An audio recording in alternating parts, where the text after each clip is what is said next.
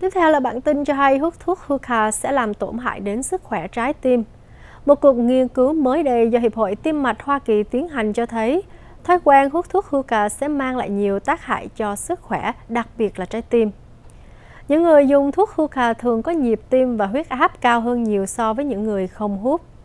Do đó, nguy cơ mắc bệnh về tim mạch cũng sẽ cao hơn gấp nhiều lần. Các chuyên gia nói rằng giới trẻ hiện nay đang có một sự lầm tưởng vô cùng tai hại rằng thuốc hookah không gây hại cho sức khỏe như thuốc lá thông thường. Tuy nhiên, khói thuốc hookah có chứa nhiều hóa chất nguy hiểm như tobacco. Thống kê mới đây, đồng thời đã ước tính có khoảng 4,8% học sinh trung học tại Hoa Kỳ đã hút hookah trong năm 2016, cao hơn 4% so với năm 2011. Và con số này đang được dự đoán sẽ tiếp tục gia tăng trong thời gian tới đây.